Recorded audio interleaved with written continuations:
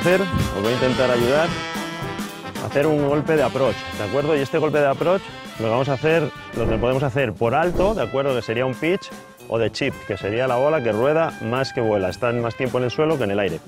Entonces, lo que vamos a hacer para ello es utilizar un palo con menos grados, ¿de acuerdo? Que va con un hierro 7, por ejemplo, lo voy a hacer con un 7, y lo que voy a hacer es botar la bola a la entrada de green y irá rodando hacia el hoyo. Esto siempre será mucho más seguro que jugar por alto, ¿de acuerdo? Entonces, voy a seguir una rutina y esa rutina va a ser la siguiente.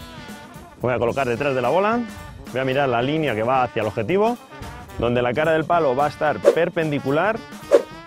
Ya coloco el palo en el orden de colocación, cara del palo perpendicular, segundo el grip, tercero el cuerpo, ¿de acuerdo? Y ahora un tamaño de swing cortito que bote la bola a la entrada de green y ruede a buscar objetivo. Gracias.